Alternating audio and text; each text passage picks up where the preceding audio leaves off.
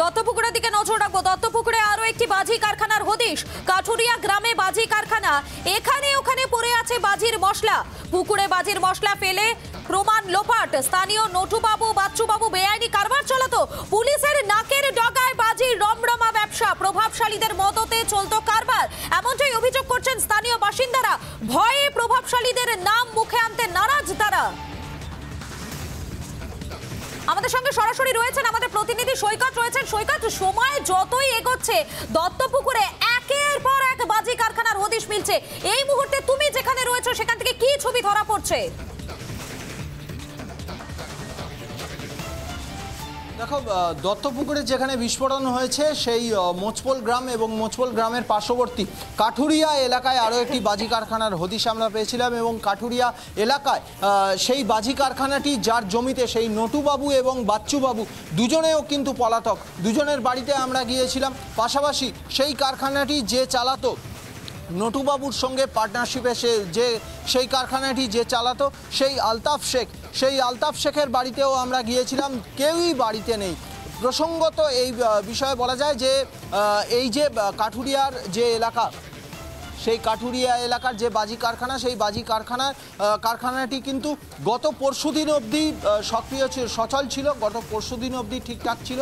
কিন্তু তারপর থেকে আচমকা সেই কারখানা বন্ধ হয়ে যায় এবং গতকাল সেই কারখানার পেছনে একটি পুকুর আছে। সেই পুকুরটি গতকাল সন্ধে অবধি ঠিক ছিল। কিন্তু পুকুরে যিনি লিজ নিয়ে মাছ চাষ করেন, মাছ ব্যবসা করেন, সেই ব্যবসায়ী যুবক আতাউর রহমান, তিনি জানাচ্ছেন, আজকে সকালে তিনি যখন পুকুর পরিদর্শন করতে আসেন, তখন দেখেন বারুদের আহ, বারুদ এবং বাজি তৈরির মশলা পুরো ছড়িয়ে দেওয়া হয়েছে।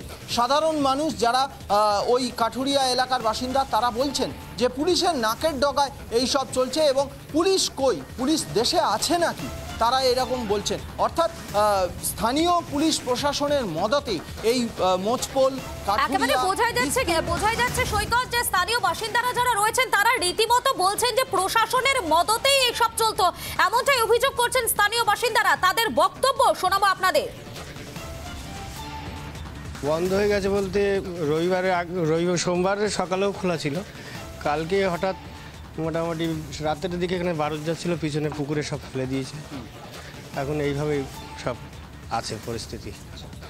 আপনারা কি আপনারা এখানেই বাড়ি? এখানেই বাড়ি পাশেই বাড়ি। তো আতঙ্কের পরিস্থিতি। আতঙ্কে মানে প্রচণ্ড আতঙ্কে আছি কীভাবে কাকে বোঝাবো? কে চালাচ্ছে? কে চালাচ্ছে এখন কি করে বলব? এখন নাম তো প্রকাশ্যে বলা যাবে না কে চালাচ্ছে। কেন? এরমভাবে বলা তো সম্ভব না। এসে দেখছি যে এই অবস্থা। যে চালাচ্ছিল সে কি এখানকার বাসিন্দা না? গাড়ি হতে পারে কিন্তু নাম প্রকাশে বলতে গেলে দেখা গেল আমারও তো পরে ক্ষোভ এসে যেতে পারে। পুকুর আমি চাষ করি। মানে লিজ নিয়ে লিজ নিয়ে চাষ করি। আচ্ছা। আমার তো অনেক টাকার এখানে ক্ষতির ব্যাপার। পুকুরে তো পাসও দেন পাস দেওয়ার মতো হ্যাঁ, মাঝে মধ্যে পাসও দেই। রয়েছে। হ্যাঁ সেরকম ভাবেই আমি পুকুরটা চাষ করি আমি অনেক টাকা খরচ করে রেখেছি পুকুরটা আমার পুরো সর্বনাশ করে দিল। কারা করল? এটা কারা করল? এখন এই যা যে এখানে এই যে আর কি গোডাউন করে রেখেছে যার জমিতে আছে তারাই ভেঙে চুরে এখানে এখন ফেলেছে। তারা ওই যারা যাদের আর কি জমি যাদের কারখানা আছে ওই নটুবাবু বলেন ওই বাচ্চুবাবু বলেন ওদেরই এইসব কারখানা আর ওরাই মানে মানে ওদের কারখানায় লিজ নিয়ে চলতো বা ওরাও এরকম আছে, এরকম বিভিন্ন ব্যাপার। তা তারাই এখানে ধরেন এখন ফেলেছে। আতঙ্কপুরী দত্তপুকুর। মোজপোলে বিস্ফোরণ স্থল সংলগ্ন এলাকা থেকে চলে যাচ্ছেন অনেকেই। এখনও এলাকায় পা ফেললেই বিস্ফোরক বোঝাই কারখানা গোডাউন। যে কোনো মুহূর্তে উড়ে যেতে পারে গোটা গ্রাম।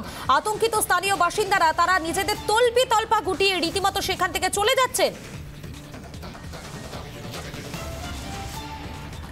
একেবারে আমাদের প্রতিনিধি সৈকত, সেখান থেকে কি প্রতিবেদন তুলে ধরেছেন আপনাদেরকে দেখাবো এবং এর পাশাপাশি আপনাদের শোনাবো, স্থানীয় বাসিন্দারা যারা চলে যাচ্ছেন তাদের কি বক্তব্য?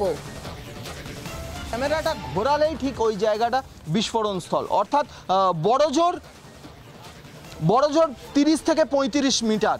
দূরে।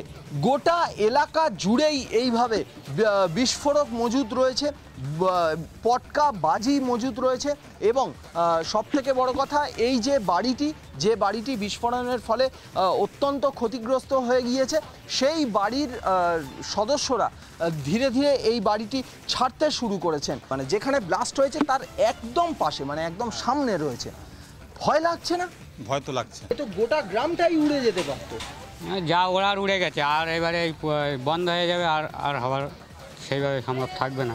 এই বাড়ির ভিতর থেকে মানুষ বা এই বাড়ির বাসিন্দারা, তারা আস্তে আস্তে বেরিয়ে আসছেন। বাড়ির বিভিন্ন আসবাবপত্র তারা বের করে নিয়ে আসছেন।